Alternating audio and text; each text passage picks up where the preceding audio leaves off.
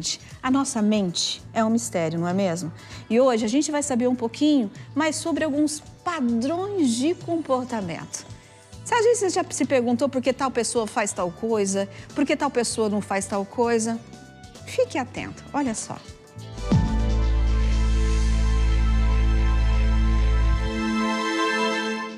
Eu canso de falar para vocês que a gente tem uma coisa chamada mente. Essa mente tem múltiplas utilidades para a gente, mas uma das mais importantes é dar o padrão de comportamento que a gente acha que deve ter para que as coisas todas deem certo na vida. Se eu quero, por exemplo, paquerar uma moça, eu tenho que ter o jeito certo de paquerar.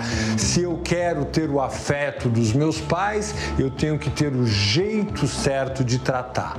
Então a mente vive dentro do nosso pensamento, falando o que é certo e o que é errado, e vive cobrando da gente que a gente tenha o comportamento certo. Quando o nosso pensamento começa a julgar o nosso comportamento, começa a julgar o nosso sentimento como uma coisa errada, acontece uma grande revolução dentro da nossa mente. A gente começa a carregar o sentimento de culpa. Imediatamente começa um processo de sofrimento, como se a mente nos acusasse de sermos vilãos, de fazermos tudo errado e merecemos castigo.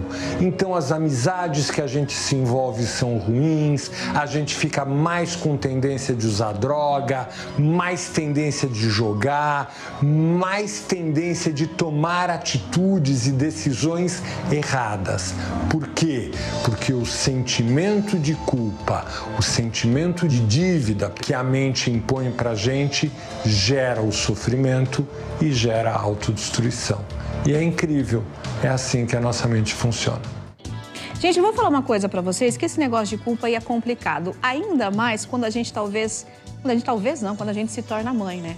Porque a gente tem culpa se tá fazendo as coisas certas, se tá educando direito, e eu acho que é para a vida inteira. E tem gente que sente muita, mas muita culpa. E eu vou te falar que essa culpa leva a pessoa tão para baixo, tão para baixo. Mas deixa eu te falar uma coisa. Você que está me assistindo que tem esse sentimento.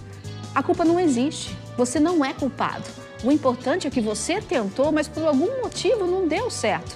E se não deu certo, a gente vai tentar de novo, porque a gente é ser humano, a gente pode errar. Mas não coloca isso na sua cabeça achando que você é culpado por alguma coisa que deu errado. Você não é culpado. Tá bom?